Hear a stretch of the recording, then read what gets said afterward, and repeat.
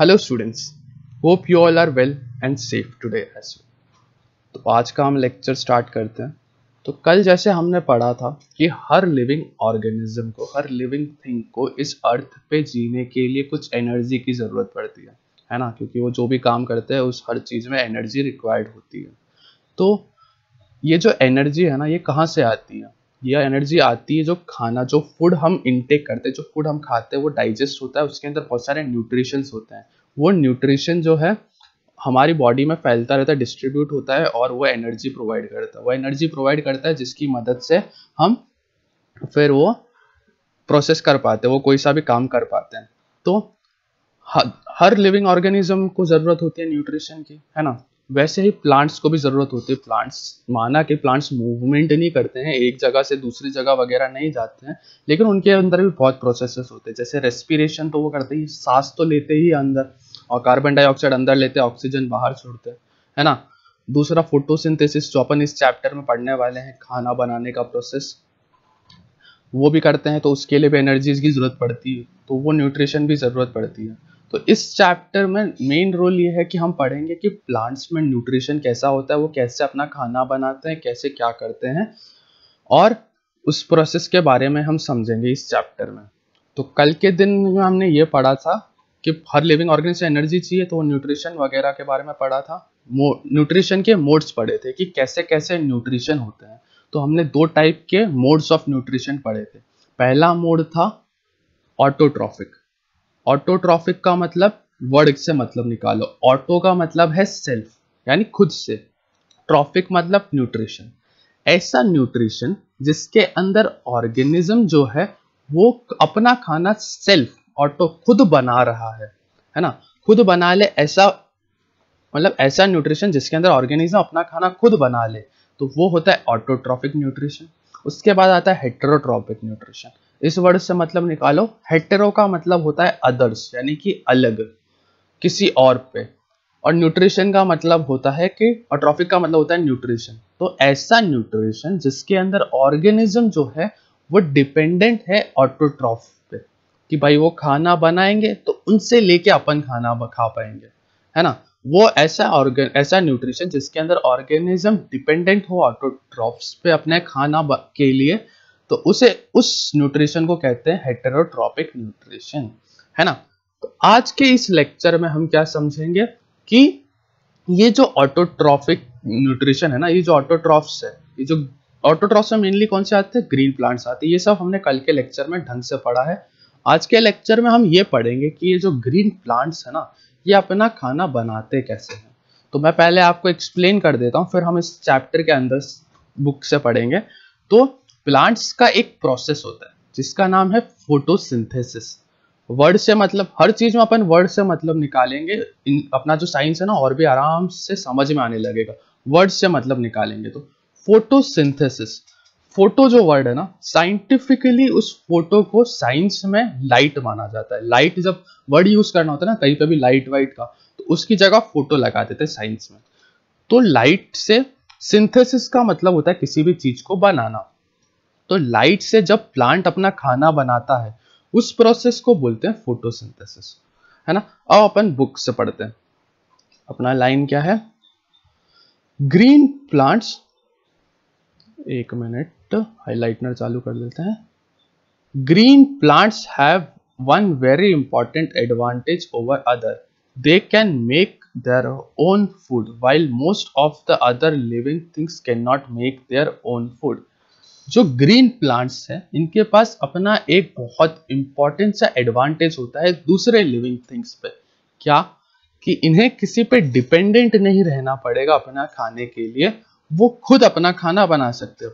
While मतलब उस समय जो दूसरे ऑर्गेनिज्म से, दूसरे लिविंग थिंग्स है, वो उनको डिपेंडेंट रहना पड़ेगा कि भाई जो प्लांट है वो अपना खाना बनाए, फिर उससे अपन खाना खा सके लेके, है ना? तो ये बहुत बड़ा एडवांटेजेस है ग्रीन प्लांट्स के पास में। Plants make food by the process of photosynthesis जैसा मैंने आपको समझाया, अभी जो प्लांट्स है ना, वो अपना खाना, जो बनाने का जो प्रोसेस है, उसको कहते हैं photosynthesis this process is the largest and most important manufacturing process in the world देखो, हर चीज़ जो है ना, अपन छोड़ सकते, लेकिन खाने के बिना नहीं रह सकते। अगर अपन को खाना खाना है लिविंग अपन ह्यूमन बींग्स को भी खाना खाना जानवरों को ह्यूमन बींग्स को तो प्लांट को तो खाना बनाना पड़ेगा। प्लांट को खुद को जीने के लिए, हमें जीने के लिए एनिमल्स को जीने के लिए, सबको अगर धरती पे जीना है तो प्लांट्स को खाना बनाना पड़ेगा। तो सबसे इंपॉर्टेंट और सबसे बड़ा जो मैन्युफैक्चरिंग प्रोसेस है। मैन्युफैक्चरिंग प्रोसेस मतलब ऐसा हर वो प्रोसेस जिसके अंदर कोई चीज़ बन के तैयार हो रही है, उसे बोलते हैं मैन्युफैक्चरिंग प्रोसेस है ना? तो जो फोटोसिंथेसिस है। ये दुनिया का सबसे बड़ा और सबसे इंपॉर्टेंट प्रोसेस है। बिना इसके हमारी अर्थ का कोई खास मतलब नहीं है, क्योंकि अपन खा नहीं पाएँगे तो अपन मर जाएँगे। प्लांट्स भी नहीं खा, बना पाएँगे तो वो भी मर जाएँगे एनिमल्स भी मर जाएँगे। तो सबसे इंपॉर्टेंट और सबसे बड़ा प्रोसेस है फोटोसिंथेसिस का। है ना? अब अपन इसको और डिटेल में समझते हैं कि भाई फोटोसिंथेसिस का प्रोसेस है क्या। तो फोटोसिंथेसिस नाम से वर्ड का मतलब निकालेंगे। रुक जाओ मैं आपको बता देता हूँ, जैसे कि ये इसमें जो ये फ़ोटो वर्ड है P H O T O इस फ़ोटो का मतलब होता है लाइट और ये जो सिंथेसिस वर्ड है, इस सिंथेसिस का मतलब होता है बनाना है ना? तो ऐसा प्रोसेस जिसके अंदर कुछ खाना बन रहा हो यूजिंग लाइट लाइट को यूज़ करके तो उस प्रोसेस को बोलते हैं फोटोसिंथेसिस मैं ये चालू करने से पहले आपको पूरा फोटोसिंथेसिस का प्रोसेस समझा देता हूँ। देखो, एक जो प्लांट होता है ना, उसके चार चार सबसे इंपॉर्टेंट पार्ट्स होते हैं। एक, उसकी रूट्स दूसरा उसकी स्टेम तीसरा उसकी लीव्स और चौथा उसका फ्लावर है ना? अभी इस चीज़ फोटोसिंथेसिस के लिए अपने को फ्लावर का कुछ खास मतलब नहीं है, बाकी तीनों को बहुत इंपॉर्टेंट माना। होता क्या है? अपनी जो रूट्स है ना, वो रूट्स क्या काम करती है? अपन जो सॉइल में पानी वानी देते, जो न्यूट्रिशन देते सॉइल के अंदर से मैन्योर वगैरह तो रूट्स क्या करती है? उस पानी को और उस मैन्योर को, उस फर्टिलाइज़र वगैरह को खींच लेती है अपने अंदर और ऊपर भेज देती ऊपर कहाँ पे? स्टेम में। स्टेम उसको ऊपर ले जाता है। ठीक है? उसके बाद आती है अपनी लीव्स लीव्स का बहुत इंपॉर्टेंट फ़ंक्शन लीव्स जो है ना, वो एक, मान लो, ये मेरी लीफ है, ठीक है? अपनी एक लीफ है ये ये स्टेम है, ये लीफ है, ठीक है? इस लीफ के ऊपर ना एक बहुत बड़ा प्लांट का ऑर्गन ऑर्गन मतलब जैसे कि अपने अंदर होता है ना किडनी ब्रेन ये सारे ऑर्गन्स होते हैं तो एक हिसाब से ये स्टेम के अंदर जो लीव्स है, उसके ऊपर कुछ ऑर्गन्स होते हैं, जिसे बोलते हैं क्लोरोफिल ये क्लोरोफिल क्या करते हैं? ये सबसे मेन चीज़ क्या होती है? क्लोरोफिल की ये इसे ग्रीन कलर प्रोवाइड करता है। हर जो ग्रीन प्लांट होता है ना, उसको ग्रीन कलर कौन प्रोवाइड करता है? क्लोरोफिल प्रोवाइड करता है।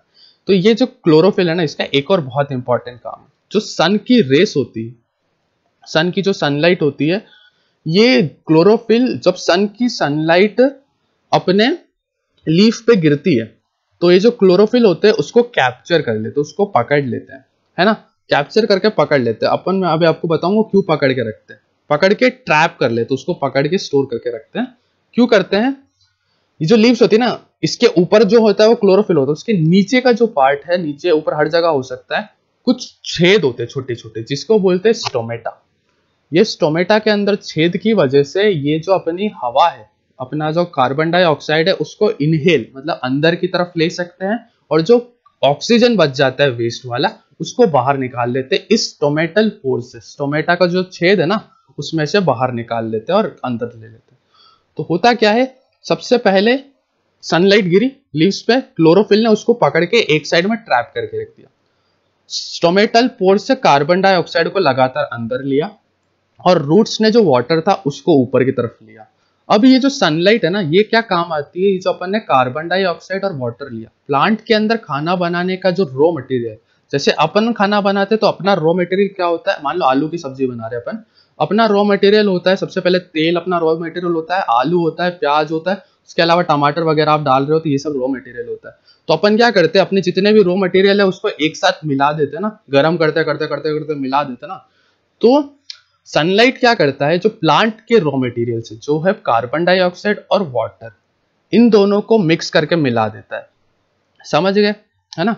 कि जो अपना रूट से पानी आ रहा है और लीव से जो कार्बन डाइऑक्साइड आ रहा है। उसको सनलाइट कंबाइन कर देता है। और कंबाइन करने के बाद एक फ़ूड बनता है, जिसको बोलते हैं ग्लूकोस समझ गए? ग्लूकोस ये ग्लूकोस ही उसका एनर्जी उसका न्यूट्रिशन है, उसका एनर्जी प्रोवाइडर है। ठीक है? जो एनर्जी देगा और वो उसके अपने फ़ंक्शंस कर पाएगा। तो जो ज़रूरत होती है, उतना ग्लूकोज तो वह रख लेते हैं और बाकी का स्टोर करके रखते हैं। जितनी ज़रूरत होती है, वो तो लगा देते हैं, एनर्जी बनाने में बाकी का स्टोर करके रखते हैं। अब अपन इस चैप्टर के हिसाब से समझते हैं। ये प्रोसेस था पूरा फोटोसिंथेसिस का मैं आपको बुक की लैंग्वेज से समझाता हूँ, जो आपको और क्लियरली समझ में आ जाएगा। है ना?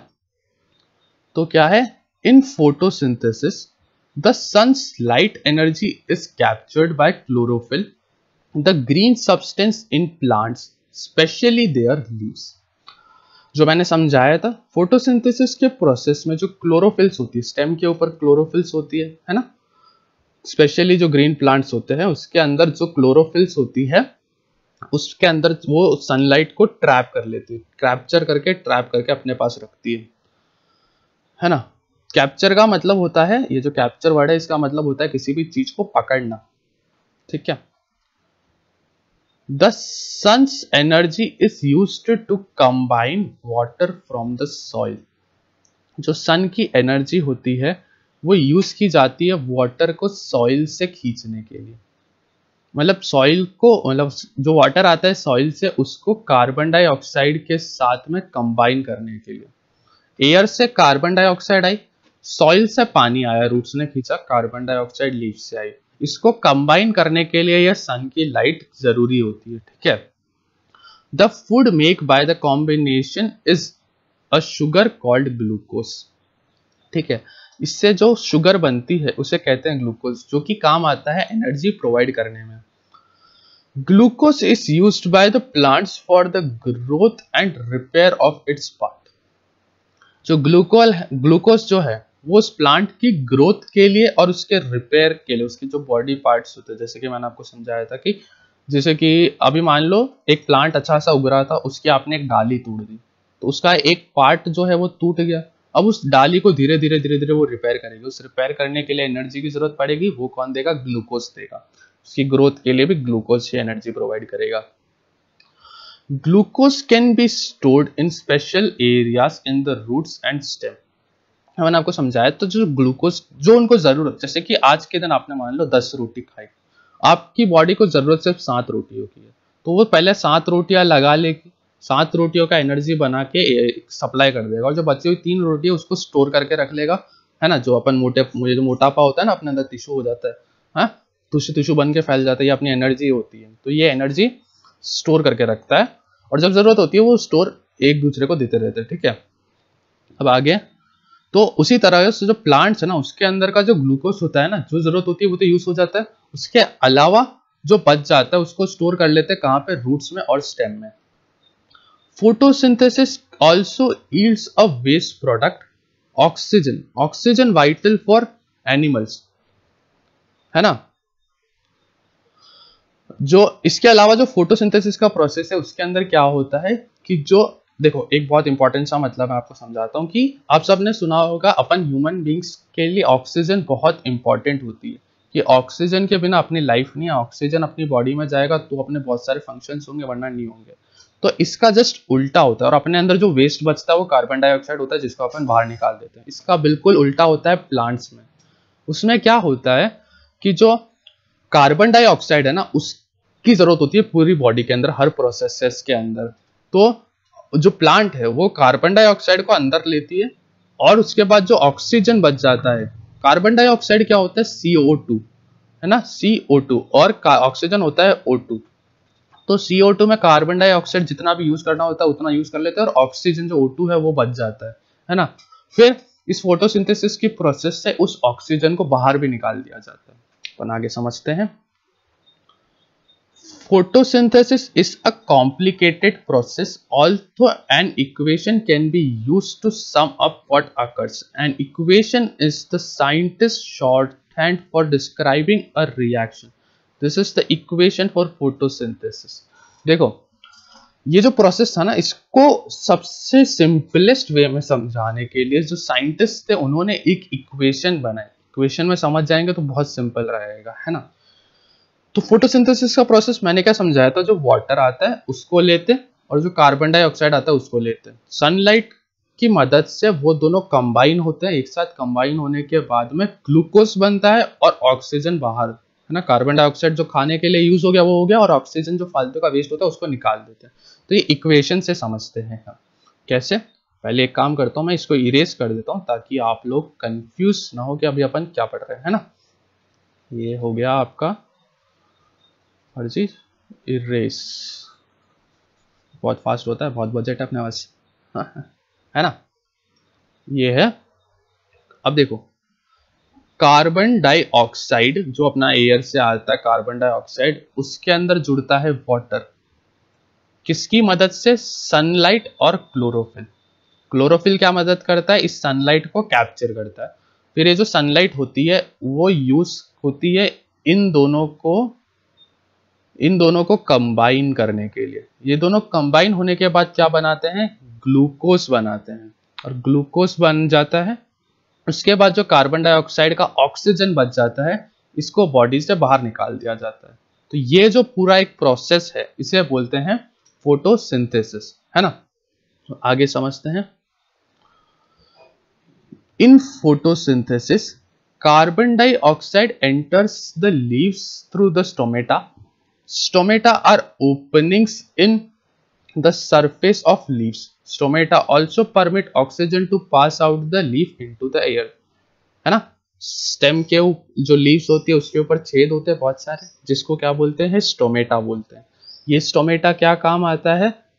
ये काम आता है कार्बन डाइऑक्साइड को अंदर लेने के लिए, जिसको बाद में खाने में बनाने के लिए यूज़ किया जाएगा। और जो फालतू का ऑक्सीजन बच जाएगा, उसको बाहर लीफ के बाहर भेजने में भी ये स्टोमेटा काम करता है।